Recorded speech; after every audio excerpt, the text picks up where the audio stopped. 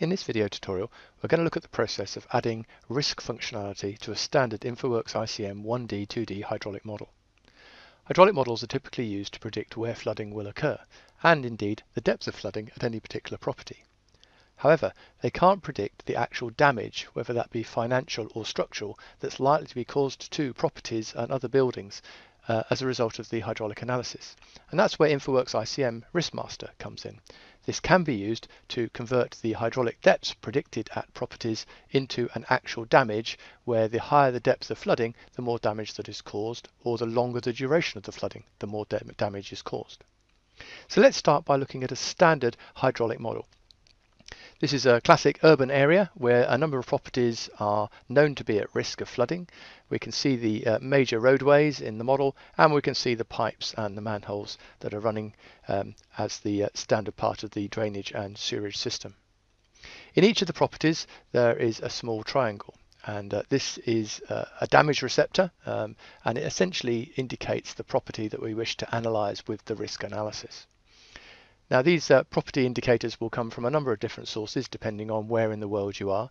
But uh, for the United Kingdom as an example, the uh, properties will be indicated by the National Receptor Database, which is essentially a, a database created by the Environment Agency and it uh, allows you to pinpoint particular properties or sets of properties that are at risk and assign them various categories to uh, describe that risk in more detail.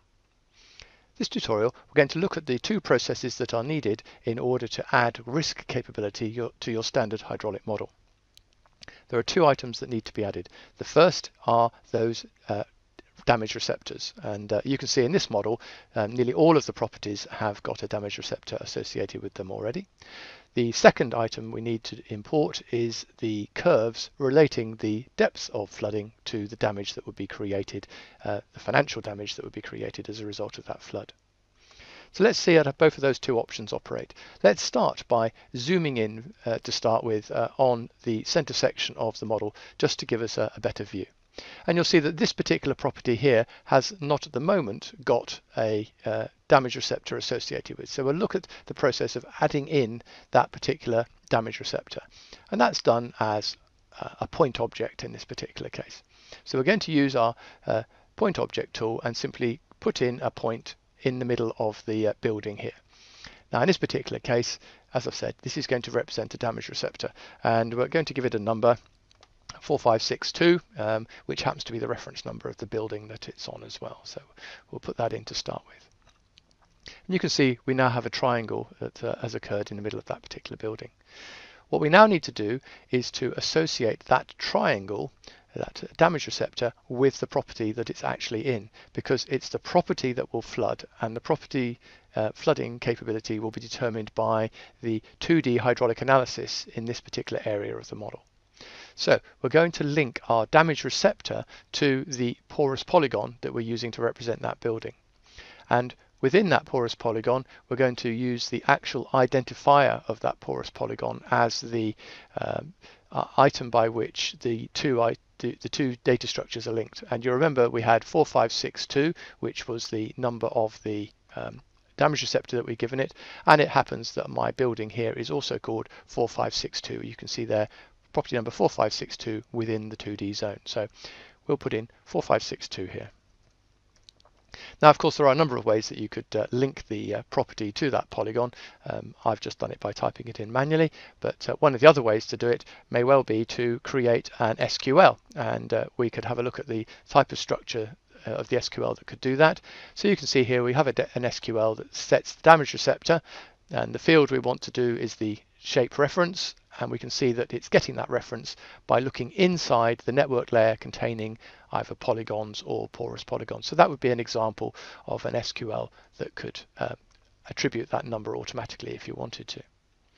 The other item of data that we need uh, in order to do our risk calculation is the area of the property. Now, this isn't a compulsory item. Uh, if we don't know area information, we can just use an absolute value for the uh, properties or the damage receptors. But in this particular case, we can get a much more precise answer of our risk calculation by actually attributing an area to our damage receptor. And of course, the area will actually be the area of our property. So the larger the property, the more risk there is of a higher damage. Now here we can use our um, SQLs again in order to do that. And you can see in this particular case, for our damage receptor, we are going to set the area based on the uh, area of the porous polygon that that receptor is standing or sitting within side of. So if I take this SQL and simply run it uh, as it is at the moment, it's run the SQL and we go back to our property sheet and you can see that it has picked up the area of the property as being 0.006 hectares. We can check that value if we wish by using our information tool on the actual uh, porous polygon itself and you can see here that the area of the polygon is indeed 0.006 hectares. So that value has been transferred for, across for us automatically. The final part of the puzzle is to uh, bring in a damage function. And uh, these can come from a variety of different sources and they are um, non-hydraulic items. They simply relate the um, damage uh, that's going to be done to the property based on the water depths that are developed in the property by the hydraulic model. So if we have a look at the uh, example that we have here, uh, for this particular model, we can see that we have definitions for different types of residential property from bungalows through to semi-detached houses and terraced houses. And we can see that we've also got a number of definitions for our commercial buildings. And the item that we're particularly interested in here would be the terraced house because that's the uh, predominant building type in this particular area. So we can see terrace going on there. So what we need to do is to make sure that our um, damage receptor here is actually going to represent, in this case, a terraced house. Now we could put in semi-detached or indeed detached. It might well be that's a detached house. But in here, we're doing a very simple analysis where we're just assigning the common building type, which in this case is terrace, to all those things. In order to bring in these damage functions, uh, rather than using something that's preset, this is a very simple process. We simply say that we have a new damage function and there are then the ability within the tool, a standard part of the software is the ability to read in the United Kingdom multicolored handbook data, which is the standard definition for relating depth to damage. And uh, we've got various derivatives of the handbook that were produced originally in 2005 and uh, again in 2010. And there's a, another new version that's just about to be published that was originally developed in 2013. They all do the same, it's just the functions and the damage associated with them have been updated over the years. Here we can see we have the ability to split between both a short duration storm and a long duration storm. And this is important because that will affect the damage calculation.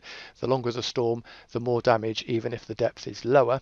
So, um, we, so we can differentiate between the two that we have there, or we can have a standard setting for non-residential properties where we don't differentiate between long and short duration storms. So let's have a look at uh, how we might bring in the data for a short duration storm.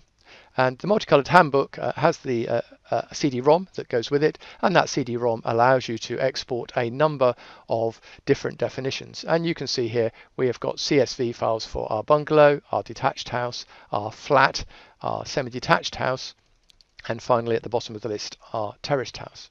And these are all for the short duration storms. So we can pick that up, load it into the software. It's a very quick import procedure. And once we've got that information in, we can then open it up. And here we can see our different codes relating to those different uh, property types. And these are the standard multicolored handbook definitions. We've added the description over on the right hand side so you can see what they are. Everything from a bungalow to a terraced house. We are looking here as our threshold, our short duration threshold is a threshold of 12 hours in this particular case. And we're doing our damage calculations based on the uh, depth of water in the building, but also the area of that building as well. So let's have a look at some of the curves that we have. We can see here we've got uh, data relating to our short duration curve for our bungalow, our detached house. And if we want to have a look at the relationship there, we can see that in this particular case, damage is predicted to start at around about nine pounds per square metre when the depth of water is 0.3 below the threshold of the property. So that would be enough to uh, come in through the air bricks and to potentially start to cause damage uh, just underneath the house. Once the depth of water um, goes above the uh, zero mark, then the damage values start to increase um, quite dramatically, and particularly once we get above um, around about uh, 0.5 meters depth here, um, you can see that the uh, the damage values accelerate away quite happily. Now we can generate those curves for every single one of the property types that we have, and there will be a slightly different shape for each one. The multicolored handbook also allows us to uh, differentiate uh, based on the age of the property. So we'll have a different curve for a detached house built within the last 10 years as opposed to one built within the last 100 years. And we can also differentiate based on social class. So the uh, uh type of people that live in those particular properties and their social standing within the community. Those are the only two items that we need to add to our standard hydraulic model in order to do a risk calculation. All we need to do once that information has been sorted out is to do a standard hydraulic run of the model and the hydraulic results from that run will create um, the exact same results that you would do normally for a standard 1D, 2D model, except for the fact that there'll be a couple of extra results, which will be hydraulic data associated with our damage receptors. So there'll be a hydraulic depth, associated with each one of those damage receptors and the duration of flooding associated with each one of those damage receptors as well. Having added in our damage receptors and having created our damage function, the final uh, item that needs to be uh, put together with the model is to associate not only the damage receptor with the property that it's within, but also all of the 2D elements that either touch that property or are within that property in the case of a porous polygon. So let's have a look at that final step now. To make things a little easier, we'll zoom right in onto the uh, junction of our road and in particular look at our particular property that we put our damage receptor within. And you'll remember that was 4562 you can look, uh, if you look at the background, you will see the spider's web of the uh, 2D mesh uh, function that uh, goes on. We can highlight that uh, a little bit with our element view. If I increase the visibility of the elements uh, in the view, you can see the the 2D mesh around that building.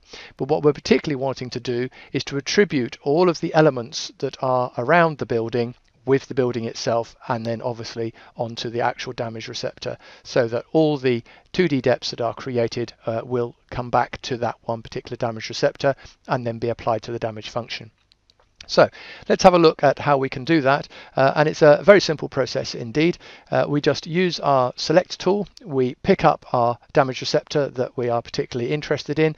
And we tell the software using the model menu, using the meshing function that having created our 2D mesh, which we've already done, you can see that we need to assign the 2D elements uh, associated with that building uh, through to that particular damage receptor itself. So if we just do that very quickly, you'll see there for our new damage receptor, just the one of them, we've associated all the uh, all, all, the elements that go with the building in which it's contained. So we've picked up seven elements that are either inside or um, surrounding that particular building uh, to pick up the function.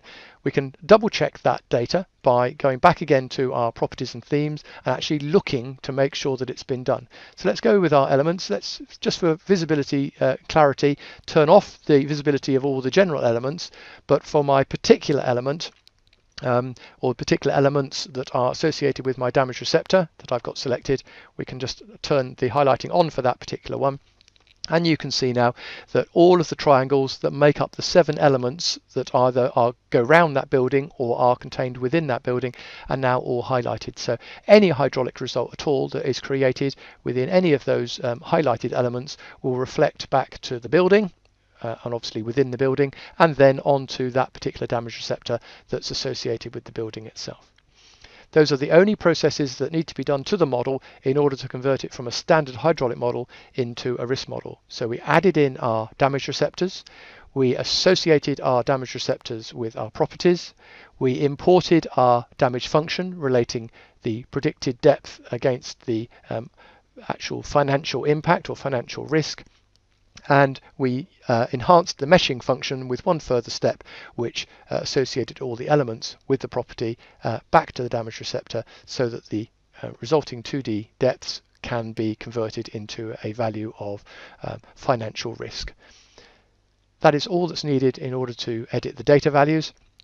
Uh, the next stage is obviously to do your hydraulic simulation, your 1D, 2D hydraulic simulation, and then on to look at the uh, actual calculation of damage and subsequent calculation of risk. And that is what we'll do next.